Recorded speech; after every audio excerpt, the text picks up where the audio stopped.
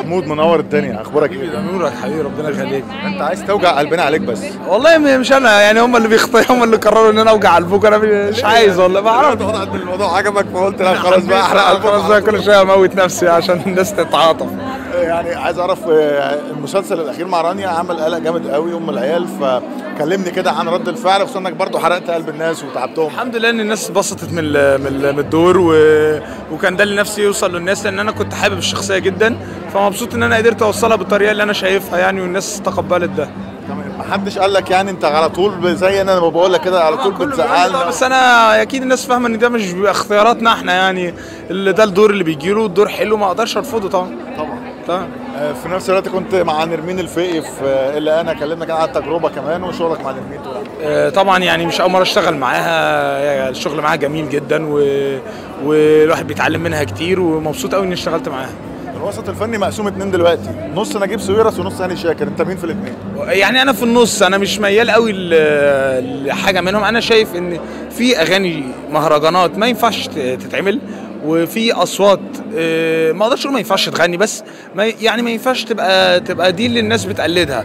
وفي نفس الوقت أنا ضد فكرة المنع أنا ضد إن إحنا نيجي نمنع حاجة. إحنا المفروض عندنا نعمل رقابة على الأغاني نشوف إيه اللي ينفع وإيه اللي ما ينفعش ومين اللي يقدر يقدم شيء كويس ومين اللي ما يقدرش يقدم شيء كويس.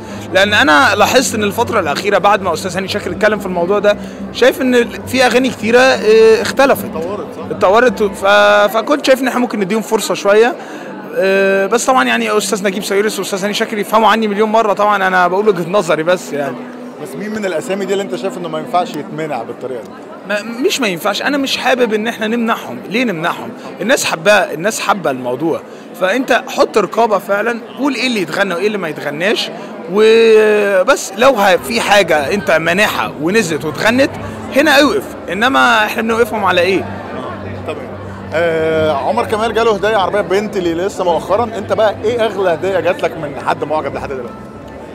والله ده أنا عايز اشكره. كنت طالع من الاهرامات واصل هم الناس بتوع ال- اللي بيبقوا في الهرم بيبيعوا الاهرامات التماثيل دي وابو الهول للسياح بكتير. فانا فانا ما بشتريهمش. أنا بيلا يفتكروني سايح. فانا معدي فهو عرفني راح مديهم لي. فاقول له يا عم مش عايز يقول لي والله تاخدهم. فوالله بسطني جدا إن هو آه يعني اتبسطت دي كانت هدية غالية بالنسبة لي. أكيد.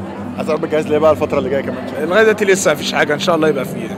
تمام. بس اوعى بقى النبي توجع قلبنا تاني بعد كده. حاول والله. يعني قولوا لهم بقى. مش مش ذنبي. إن شاء الله. حبيبي ربنا يخليك. حبيبي ربنا يخليك.